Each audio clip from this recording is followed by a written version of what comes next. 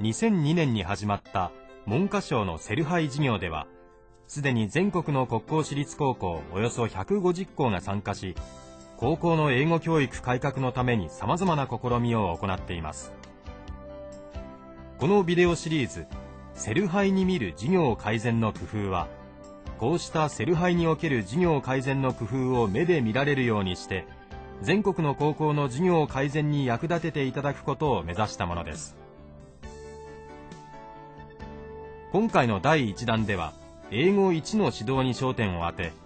この科目の授業手順のパターン化を目指す取り組みを行っている3校を取り上げました。